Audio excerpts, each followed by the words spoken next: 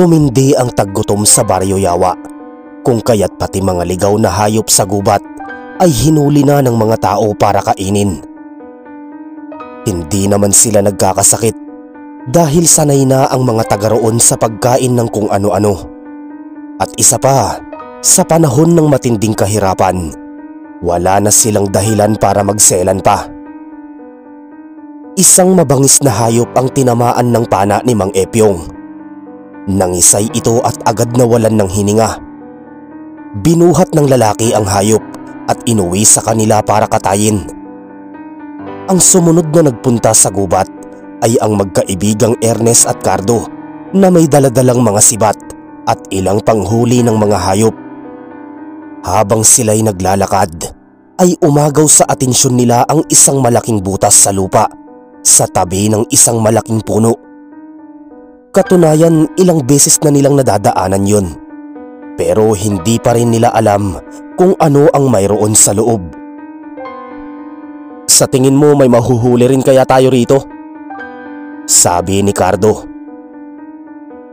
Tiyak na dito nagtatago ang ibang mga hayop.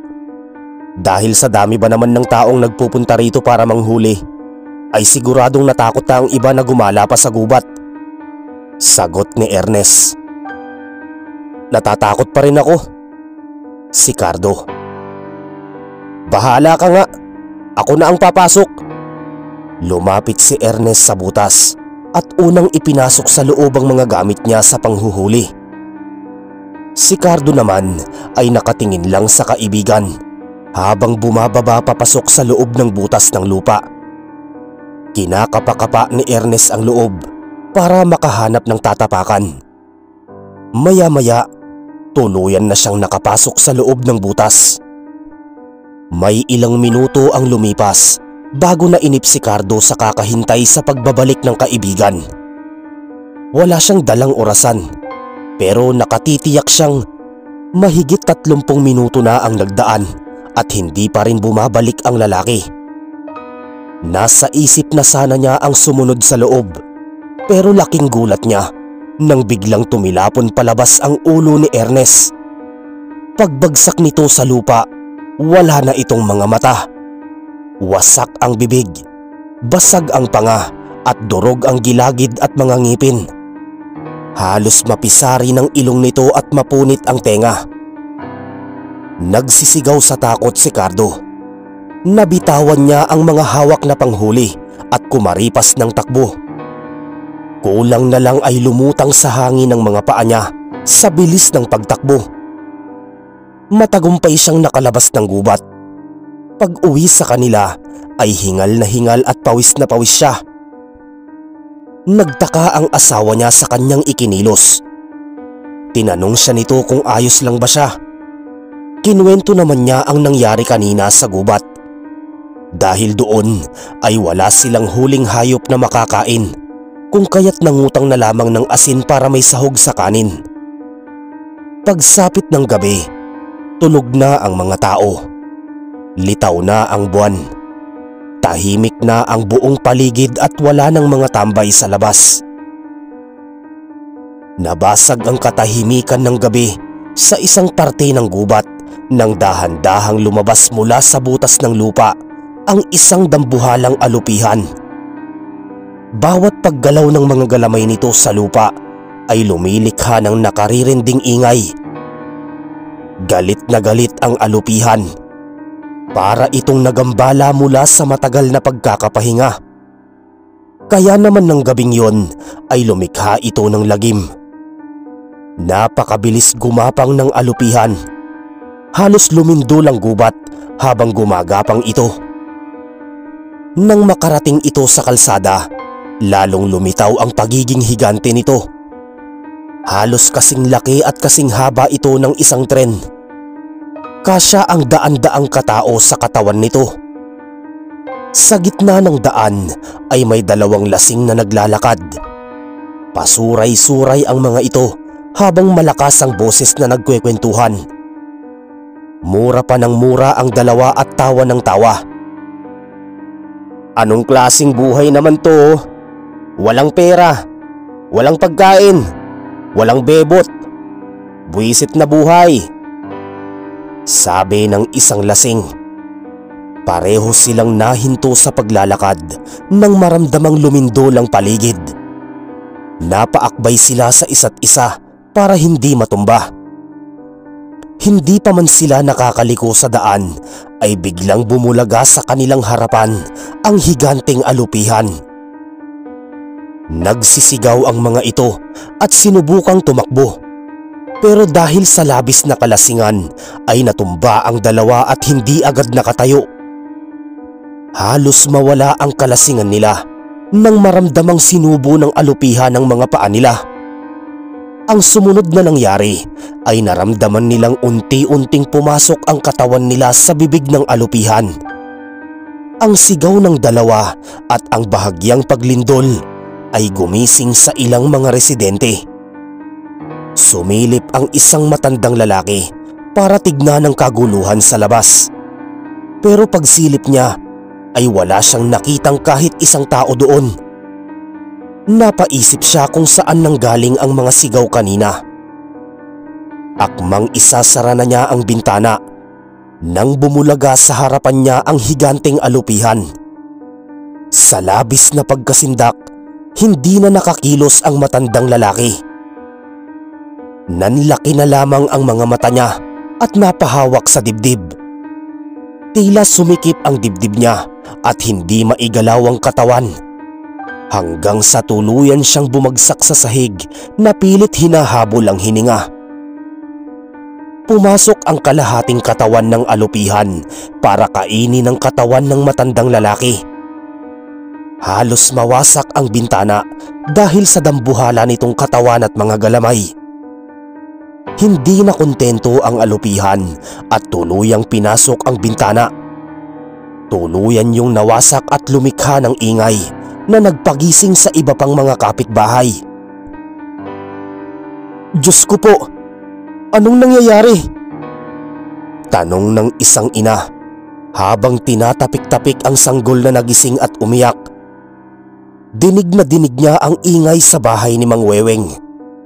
Para bang nawawasak yun dahil sa isang gera. Hindi niya alam kung sino-sino ang mga nakapasok at gumagawa ng ganong ingay. Nagdulot pa ng lagimang higanting alupihan sa iba pang mga kabahayan. Pagsapit ng umaga, maraming mga tao ang nasa labas habang pinagmamasda ng malalaking bitak na nabuo sa lupa, pati na ang mga bintana at bahay na nawasak madaling nawasak ang mga bahay dahil karamihan sa mga yon ay yari lamang sa kahoy o kawayan. Ang iba ay kubo lamang. Nawawala naman ang may-ari ng bahay na nawasak, kabilang na si Mang Weweng. Anong klasing halimaw kaya ang gumawa nito? Natanong sa sarili ni Celia, ang asawa ni Cardo. Si Cardo naman ay hindi makapagsalita Nanatili lamang siyang nakatitig sa mga bahay at lugar na nawasak. Balot na balot ng pagtataka ang kanyang isipan kung sino ang may gawa nito. Ganon din ang iniisip ng ibang mga residente. Kanya-kanya silang hula kung ano ang dahilan ng pagkawasak ng maraming tahanan. Baka may kapre. Baka mga alien na sumasakop na sa mundo. Baka naligaw na rito ang mga abusayap. Baka malapit na ang katapusan ng mundo. Dahil doon, maraming mga residente ang nagsilikas, dala ang mahahalaga nilang mga gamit. Kaunti na lamang ang naiwan doon, kabilang na ang pamilya ni Nacardo. Katwiran nila'y kahit anong mangyari, ay hindi nila iiwanan ng sarili nilang tahanan Magdasal na lamang tayo. Hindi tayo pababayaan ng Diyos. Nasabi ni Cardo.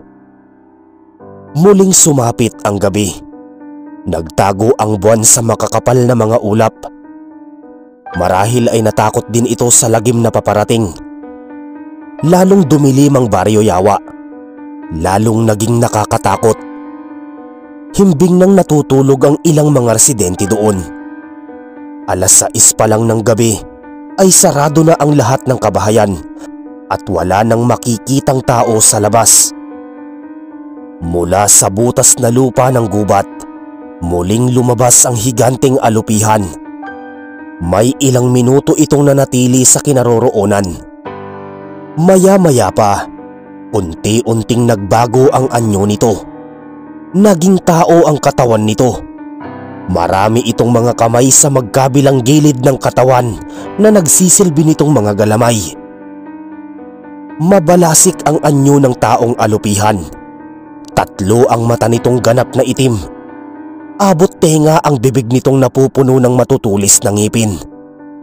Puno ng ugat ang buong muka nito at may dalawa itong mahahaba at malalambot na sungay sa gitna ng ulo na gumagalaw-galaw pa na katulad ng sa ipis. Nagpakawala ito ng mabangis na ngiti at nagsimulang lumakad. Inisip ng taong alupihan na marami nang nakarinig sa ingay na ginawa niya kagabi. Kung kaya't nagpalit na siya ng anyo upang hindi gaanong makagawa ng ingay sa pagkakataong yon. Naglakad-lakad siya sa madilim na kalsada. Ngunit wala na talagang katao-tao. Habang pinagmamasdan niya ang paligid, nakakita siya ng isang asong gala na nangangalkal ng isang basurahan. Nakatalikod ito sa kanya kung kaya dahan-dahan siyang lumakad upang makalapit dito. Bago pa man makatakbo ang aso nang mapansin siya nito, nahablot na ito ng kanyang mga galamay. Lumikha ng ingay ang aso nang simula niya itong kainin. Una nitong sinubo ang buntot ng aso. Pagkatapos ay automatikong pumasok ng dahan-dahan ng katawan ng aso habang pumapasok ang katawan nito ay palaki naman ng palaki ang bibig at ulo ng taong alupihan. Kahit nag-anyong tao na ito ay kaya pa rin nitong lumamon ng nilalang sa isang kainan lang. Pilit na nagwala ang aso at umiiyak na ito sa tinig nito. Habang unti-unting hinihigop ng bibig ng taong alupihan ang buong katawan nito. Habang nangyayari ang eksenang yon, lihim na nakamasid si Cardo sa bintana at pinapanood ang pangyayari. Sindak na sindak siya kung paano lamunin ng buo ng nilalang na yon ang buong katawan ng isang aso. Nang tuluyan ng makain ng taong alupihan ng aso, maririnig pa sa loob ng katawan nito ang boses ng aso at mahahalata sa tiyan nito ang nagwawala ang kawawang hayop. Pero ilang sandali pa, unti-unting huminto ang aso hanggang sa tuluyan na itong nanahimik. Hudyat na patay na ito. Napayuko si Cardo at ibig masuka sa nakita. Babalik na sana siya nang biglang magbukas ang bintana niya at sumilip mula doon ng taong alupihan. Nagsisigaw siya at agad na nagtungo sa kinahihigaan ng pamilya niya. Nagising din ang mga ito at agad na sindak ng masilayan ang nilalang na nakadungaw sa kanilang bintana. Nagsimulang magsiiyakan ng dalawa nilang anak. Ilayo mo ang dalawang bata, Celia! Ako nang bahala sa aswang na yan! Utos ni Cardo. Pero bago pa makagawa ng aksyon, nagbuga ng kimikal ang taong alupihan at tila may isip yun na dumapo patungo sa dalawang bata, pati kay Cardo. Nangisay ang tatlo at bumagsak sa lupa.